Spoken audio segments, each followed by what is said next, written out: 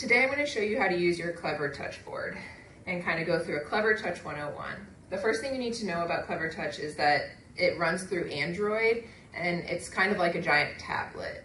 It doesn't necessarily work like a computer, it works more like a tablet where you have your apps and your different programs that you open to run what you're doing. You can still download files and downloads and things like that, um, but just keep that in mind as you're working with it and that might make things a little simpler. You have two pens on your Clevertouch board. They can stick in the front here or the back is magnetic and you can put them there so kids can't reach them as easily if you need to.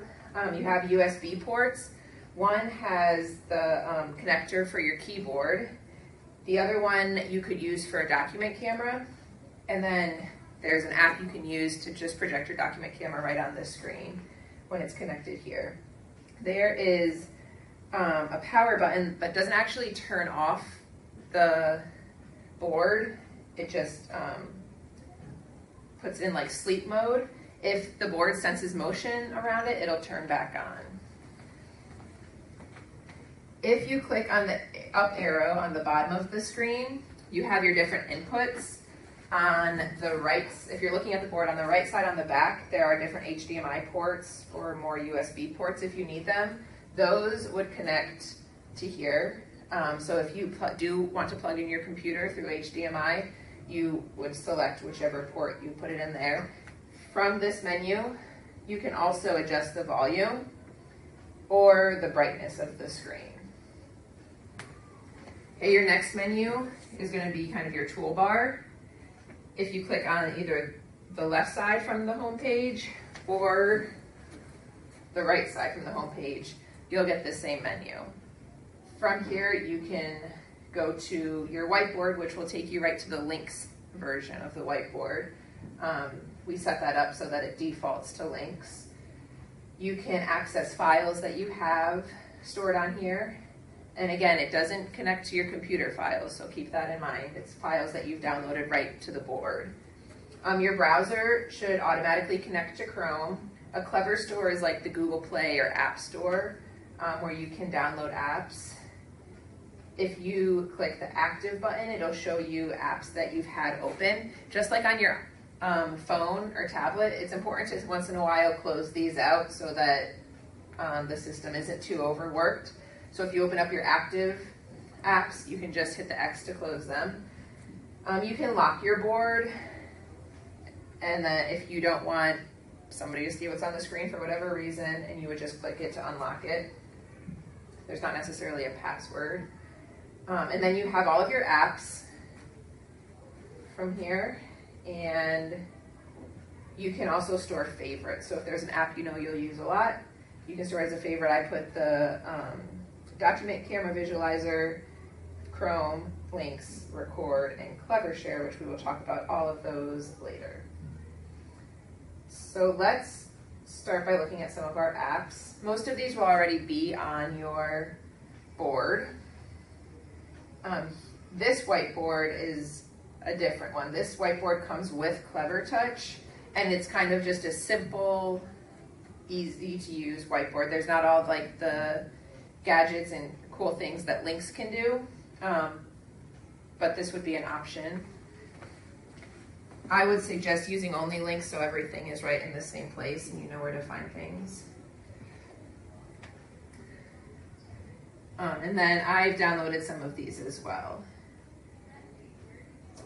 If you would like to download apps, you can. Um, you would open up your menu and go to the Clever Store.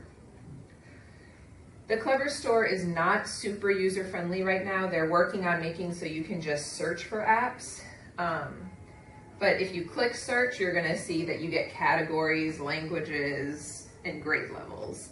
Um, so you kind of wanna know what you're looking for when you go in here. Some good things to browse might be classroom essentials, math, literacy, um, maybe you want games, I don't know how you wanna do that just kind of browse through and see what there is.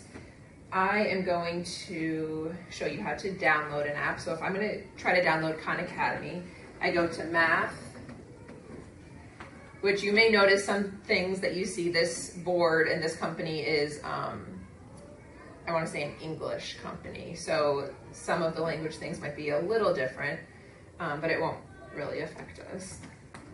So if you go to Khan Academy, you would click free download.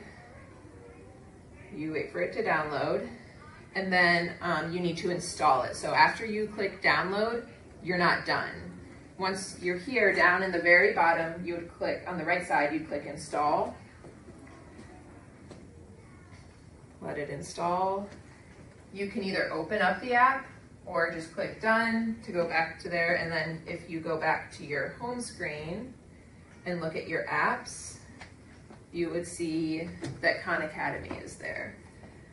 When you're in your apps, you can readjust them by um, pushing down and holding the app, and then you can move it around to different places.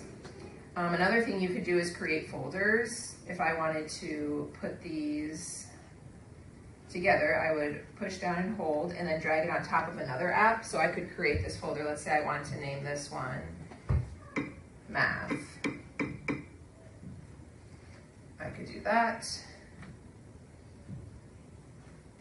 So that's how you can download an app and kind of move your apps around. If I want to add a favorite, I would click on my favorites and then go to the plus sign and I can add any of these. Um, let's say I want to add the whiteboard and Wikipedia. So now I go back to my favorites and they're right there. Then last thing I want to show you in our Clevertouch 101 is how to um, write over your screen. So if you are in, let's see, Chrome, let's say I'm doing a lesson on the Brooklyn Bridge. Okay, I'm going to open this up. This is going to take me to open it through Wikipedia, which I'm fine with because it's a little more user-friendly through there. Um, and let's say I want to show my class how I would annotate this text. If you click on the pencil here, you, um, in this toolbar, you can click on the pencil again, and it's going to pop up with your annotation toolbar. If I continue clicking the pencil, you'll see it changes colors. I have black, blue, green, and red are my options. Um, so when the pencil is selected on whatever color it is, that's the color that we'll write. Um, I also have a highlighter that I have a couple different color options for. Again, just click the highlighter to change the color.